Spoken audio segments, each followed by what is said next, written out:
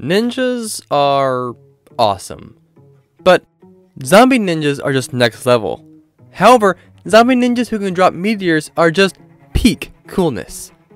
That is a major reason why the Super Ninja Madara is one of the coolest characters in the entire series of Naruto, and as it turns out, that meteor dropping is exactly what we're going to calculate today. We are obviously going to calculate some feats from the manga, but we also have some rocks that he dropped from the games to calculate as well. So, like Madara, drop whatever you're doing so that you can focus on this video as we calculate the power of the Tengai Shinsei. Shinsei!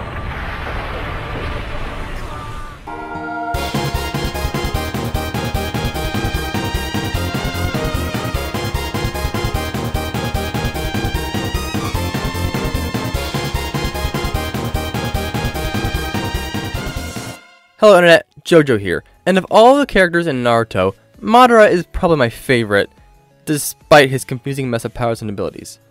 Of course, when I say favorite, it's like how someone say that Hisoka or Akainu is their favorite. They are horrible people, definitely not role models, they're just so dang cool. What Madara is likely known best for is his insane flexes. Whether it be asking the Kages if they would like to fight his clones with or without a or going hand in hand with an entire army. However, my favorite moment is after the Kage stopped one of his meteors, he pulled a Yoda There is another. and dropped another meteor. I mean, talk about a flex. This is getting out of hand. Now there are two of them. This jutsu called Tengai Shinsei, or translated literally to English, Heavenly Obstacle Quaking Star. Naruto really goes out with their names, at least the name of jutsus and abilities. The names of their characters, on the other hand, are from food, flowers, and cereal. This alone is the reason you can't take the name of an attack literally. Anyways, the first Tengai Shinsei that we're going to calculate is from the manga and anime, as they are easily the weakest of the many incarnations of this feat that we're going to talk about in this video. So this is actually very simple, as all we have to do is outline the meteor and compare it to the smallest pillar in this panel, and then compare this pillar to the people, and this rock comes out to be about 1,981.88 meters long and 1,736.7 meters wide. Applying a density of 3,700 kilograms per cubic meter, and this would have a mass of about 11.581 trillion kilograms. This is about 219 times heavier than the Great Wall of China. So with the weight calculated, we now need to find its speed, However, there is a slight issue with this. You see, it's likely not moving as fast as many other meteors. From the limited amount of information we have from this ability, these rocks are pulled from the upper atmosphere. However, in both the manga and anime, neither of the rocks are moving fast enough to have ignited the atmosphere. Also, when the second one hits, the ground only shakes a little bit. If it was moving at meteor speeds, it would have caused a massive explosion that would have vaporized pretty much everyone in the area, not to mention that it is described as being dropped. However, I'm not unreasonable, so I'll go ahead and give you the results for both being dropped and hitting the ground at meteor-like speeds. First, we'll go with the energy from being dropped. Taking this rock's dimensions and mass, and we find that it has a terminal velocity of 508 meters per second, or Mach 1.5. This is actually not that far off from low-end meteor speeds. This rock would have a kinetic energy of 358 megatons of TNT. This is about 6 times the energy of the most powerful hydrogen bomb ever deployed. So it is incredibly, incredibly powerful, if we assume that it was moving at the fastest meteor speeds, this would have a kinetic energy of 7.08 teratons of TNT, over 19,750 times more power than if it was just dropped. As I mentioned before, this is just the absolute weakest of the meteors that he's dropped in Naruto media. Every other feat we're talking about comes from Ninja Storm 3 and 4. This first one comes from a team up combo with Obito and Madara. Obito makes his huge tree, and Madara brings this rock crashing down. This rock is not quite the same as a meteor, but it still acts the same way, so it should be fine. Comparing the clouds around this mountain to the rock, and this rock comes to be about 4,539 meters in diameter. This would mean that this rock has a volume of about 49 billion cubic meters and a mass of about 181.3 trillion kilograms. Now, this meteor is moving so fast that as it fell, it was incinerating Obito's tree, from that, we can assume that it was moving at top speeds of around 160,000 miles per hour, or Mach 208.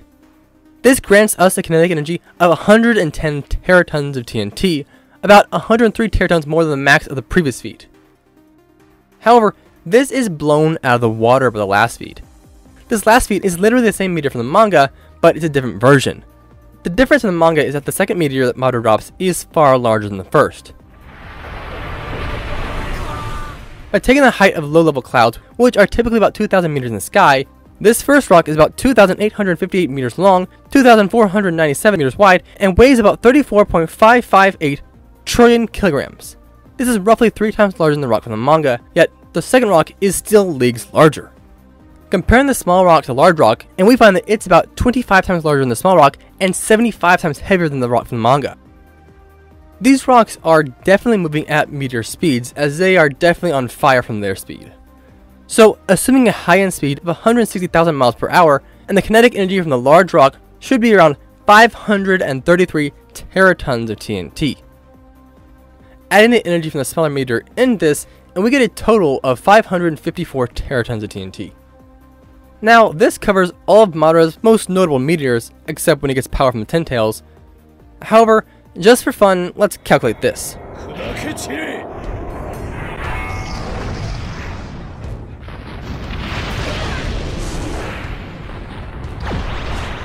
This feat here is likely far more powerful than when Madara cut these mountains in his fight with Hashirama, and that was using his Susanoo and Tails.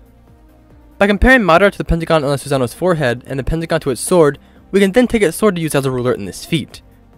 Using the sword, we can compare the height of the mountain above the cut to the base of the cut and get a volume of about 55.33 trillion cubic centimeters for all 7 cut mountains.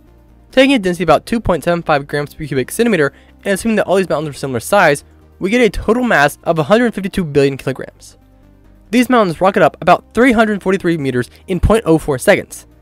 This distance and time would put these mountaintops moving at about 19,200 miles per hour or Mach 20. So to get 152 billion kilograms moving at Mach 20 and accounting for acceleration would require Madara to be striking with about 19.404 gigatons of TNT. This is much stronger than if he just dropped the first meteor, but drastically weaker than the rest of the feats. While many of these feats were from a game, they can still be used in a debate, provided they are not too far above what characters have shown in the manga. In all reality, these feats might actually be too high for the manga to justify. Even if Madara made something the size of the Grand Canyon when he fought Hashirama, they would not hit the teraton range. Unless they vaporized it or something. That said guys, thanks for watching, see you next time, remember to stay spectacular, JoJo, out. But now, just what are you going to do about the second one, Onoki?